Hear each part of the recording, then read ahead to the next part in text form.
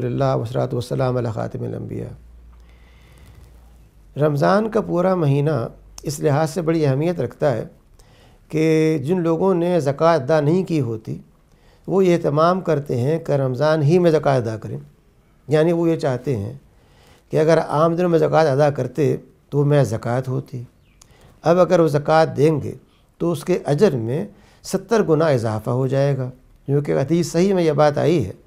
کہ جو فرض آپ عام دنوں میں پڑھتے ہیں یا ادا کرتے ہیں، وہ فرض جب آپ رمضان میں کرتے ہیں، تو اس کے اجر میں اضافہ ہو جاتا ہے ستر گنا یا اس سے کچھ زیادہ۔ بلکہ حدیث میں یہ بھی آتا ہے کہ سات سو گنا یا اس سے بھی زیادہ۔ اور یہ بات بڑی اہم بھی ہے اور قابل یقین ہے کہ رب کریم جس کے خزانے میں سب کچھ دیکھ کمی واقع نہیں ہو سکتی، وہ کیا گن کے آپ کو دے گا ستر گنا ثواب؟ یا وہ چاہے گا کہ اپنی فیاضی، اپنا رحم، اپنی محبت، اپنی و گزر کی صفت کو استعمال کرتے ہوئے نہ ستر گنا بلکہ سات ہزار گنا اس سے بھی کچھ زیادہ دے دے۔ اس لیے اس مہینے کے اندر نہ صرف زکوٰۃ بلکہ صدقات اور خیرات میں اضافہ ہو جاتا ہے۔ حدیث میں یہ بات بھی آتی ہے کہ رسات وسلام اس زمانے میں اس طرح خرچ کرتے تھے جیسے کہ آپ خرچ کرنے میں آندھی کی طرح سے خرچ کر رہے ہو۔ اور یہ خرچ کرنا وہ تھا جو صدقات ہے قرآن کریم نے زکوٰۃ کے لیے صدقے کی اصطلاح ہی استعمال کی ہے۔ جہاں کہا گیا ہے، زکوٰۃ کو قائم کرو، زکوٰۃ کو ادا کرو، وہاں پر اس کو وضاحت کرتے ہوئے کہ وہ ہے کیا، صدقے کے لفظ سے اس کی وضاحت کی گئی ہے۔ اور کہا گیا ہے کہ اپنے صدقات کو ان ان مواقع پہ تقسیم کرو۔ یہ جو لفظ ہے زکوٰۃ اور صدقہ، لغوی طور پہ دیکھا جائے تو زکوٰۃ کا مفہوم یہ ہے کہ یہ وہ عمل ہے جو ایک چیز کو پاکیزہ کر دیتا یہ وہ عمل ہے جو ایک چیز کو بڑھا دیتا ہے۔ اس لیے تزکیے کا مفہوم بڑھنے کا ہے۔ محض چیزوں کو صاف کرنے کا نہیں۔ ہے زکوٰۃ اس حیثیت سے انسان کے مال کو بڑھاتی ہے۔ ایک شخص جس نے بہت کاروبار کیا ہے اور اس کے بعد اس کے پاس بہت رقم موجود ہے، سال بھر وہ رقم رکھی رہی ہے، استعمال میں نہیں آئی ہے، تو اس کے اوپر وہ سال کے آخر میں ڈھائی فیصد زکوٰۃ ادا کرتا۔ جو کہ سننا صحیح چیز ثابت ہے۔ لیکن کیا یہ زکوٰۃ محض ڈھائی فیصد ہے؟ یا اس کے ساتھ جو لفظ صدقات کا استعمال ہوتا ہے، وہ اس کی مزید وضاحت کرتا ہے کہ انفاق فی سبیل اللہ اور صدقات کی کوئی لمٹ نہیں ہے۔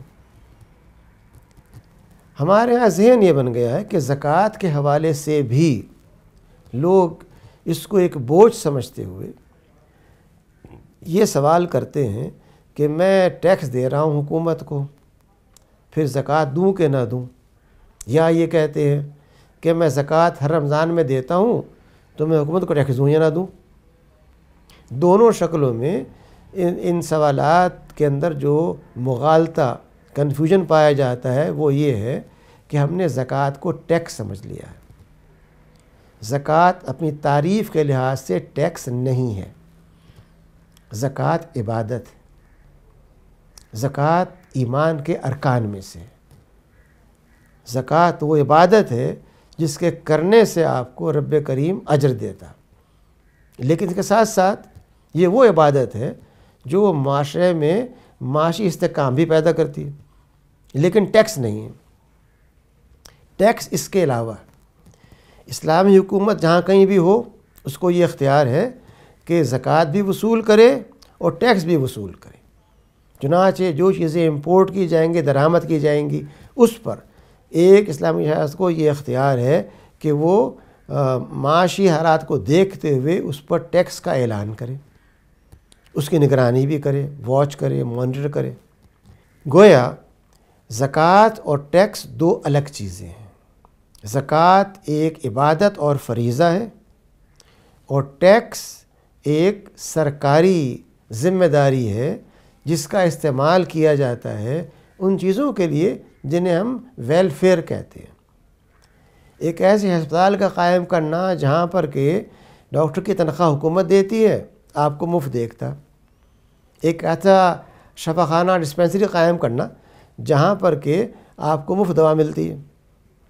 ایک ایسا تعلیمی نظام قائم کرنا جس میں آپ کو تعلیم مفت ملتی ہے۔ یہ کس کا کام ہے؟ حکومت کا کام ہے۔ اور یہ کام اسلامی حکومت نے کیا ہے پندرہ سو سال۔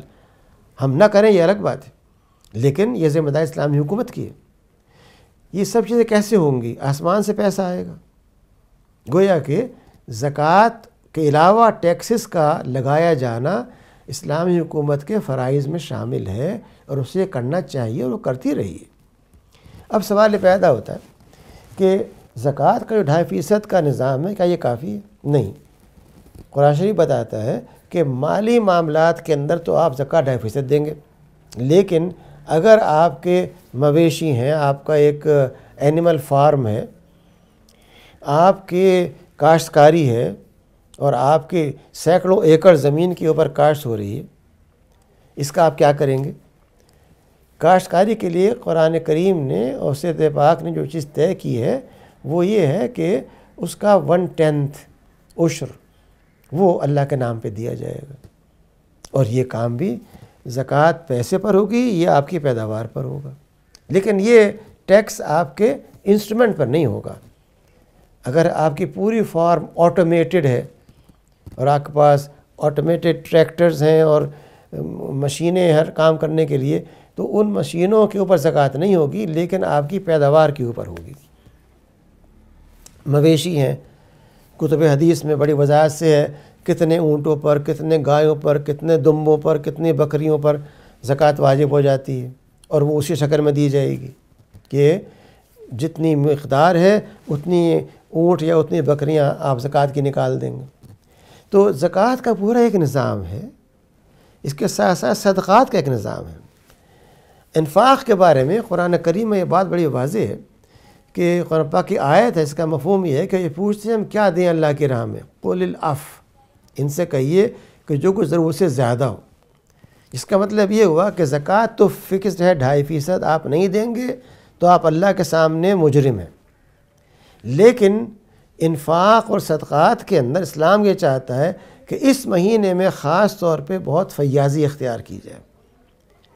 اگر ایک شخص یہ سمجھتا ہے کہ اس کی ایک کپڑا بنانے کی فیکٹری ہے اور وہ اس سے روزانہ لاکھ کروڑوں کا نفع کما رہا ہے اور رمضان میں وہ صرف یہ کر دے کہ وہ بنا بنایا کپڑا یا بغیر بنا کپڑا روزانہ ایک مقدار طے کر لے کہ یہ مقدار وہ اللہ کے نام پر اللہ خوش کرنے کے لوگوں میں تقسیم کرے گا، مفت۔ اس کا کیا گھس گیا؟ اس کے منافع میں کہیں واقع نہیں ہوئی، منافع بڑھ گیا۔ کیونکہ جو منافع وہ حاصل کرتا، ایک چیز کو بیچ کر کے وہ شاید ہوتا اسی فیصد، سو فیصد، دو سو فیصد۔ یہ جو کپڑا اس نے دیا ہے ایک بغیر سلا ہوا، یا سلا ہوا، اس کے نتیجے میں اس کو سات سو گنا، سات ہزار گنا نفع مل رہا ہے۔ تو یہ تو بہت ہی سستا سودا ہے کہ اپنے مل کے بنے ہوئے کپڑے کو جس پہ آپ نے کچھ بھی خرچ نہیں کیا، آپ اللہ کے نام پر دے کر کے اس مہینے میں اتنا بڑا اجر حاصل کر لیں، اتنا نفع کما لیں۔ تو یہ جو مہینہ ہے، یہ نہ صرف نظام زکوٰۃ کو، نظام صدقات کو، نظام انفاق کو، ان کو تازہ کرنے کا مہینہ ہے تاکہ اس مہینے کے دوران وہ افراد جو غربت کا شکار ہیں جن کے پاس پہننے کو کپڑا نہیں ہے، کھانے کو غذا نہیں ہے، پینے کو صاف پانی نہیں ہے، جو علاج نہیں کر سکتے اپنا، ان کے ان مسائل کا حل نکلے اور یہ مہینہ واقعتاً برکتوں کا، رحمتوں کا، درگزر کا اور دوستی کا مہینہ بن سکے۔ اس مہینے میں اگر ہم صرف یہ اہتمام کر لیں کہ آپ جو کچھ زکوٰۃ نکالتے ہیں اتنا ہی صدقات کے اندر بھی آپ اللہ کی راہ میں دیں گے۔ تو صرف اس ایک کام کے کرنے سے ملک گیر پیمانے پر دس سال میں نہیں، پانچ سال میں نہیں، بلکہ حد سے یا تین سال میں آپ غربت کا خاتمہ کر سکتے ہیں۔ یہ وہ ایک آسان نسخہ ہے جس کو عمری شکل دینا ہم میں سے ہر ایک کے ہاتھ میں ہے۔ وہ حکومتیں جو مدینہ کے ماڈل کی بات کرتی ہوں، ان پر تو یہ اور بھی فرض عائد ہوتا ہے کہ وہ اس طرح کے کام کریں جو قابل محسوس ہوں، جن سے عوام کو واقعی فائدہ پہنچے، جو زبان جمع خر سے آگے بڑھ کر کے ایک عمل خیر ہو، ایک عمل صالح ہو، ایک نیکی کا کام ہو، ایک بھلائی کا کام ہو، ایک معاشرتی فلاح کا کام ہو۔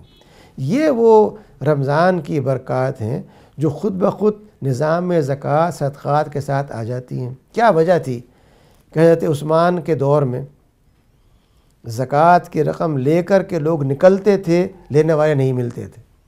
یہ کتنا عرصہ ہے؟ محض بیس سال کا عرصہ ہے نبوت کے بعد، جس میں یہ سارا کچھ ہو گیا۔ اور کیسے ہوا؟ صرف اس نظام کے شفافیت اور اعتماد کے ساتھ نافذ کرنے سے۔ ہم اس کی بات تو کرتے ہیں، نہ سمجھنا چاہتے ہیں، نہ کرنا چاہتے ہیں۔ اور جب تک ہم سمجھیں گے نہیں، براہ راست قرآن کریم سے اسرت پاک سے اور اس کو نافذ نہیں کریں گے، ہمارے زبانی دعوے ہمیں کوئی فائدہ نہیں پہنچا سکتے۔ وہ افراد زر کا معاملہ ہو، وہ سودی بینکوں کا معاملہ ہو، وہ وہ کمپنیاں ہوں جو انویسٹمنٹ اور ڈیولپمنٹ کی بنیاد پر سود وصول کرتی ہیں۔ ان تمام چیزوں کی اصلاح کے لیے محض تین سال بہت کافی ہیں۔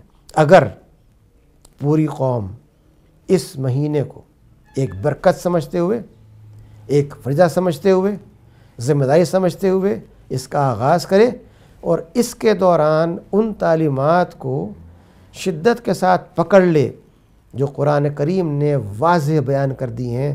سیرت پاک نے واضح طور پر پیش کر دی ہیں جن میں کوئی اختلاف نہیں پایا جاتا۔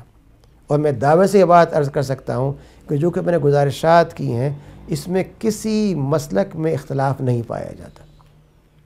ایک ایسی چیز کو جو متفق ہے، اس کو نہ کرنا پوری قوم پر عذاب لا سکتا ہے۔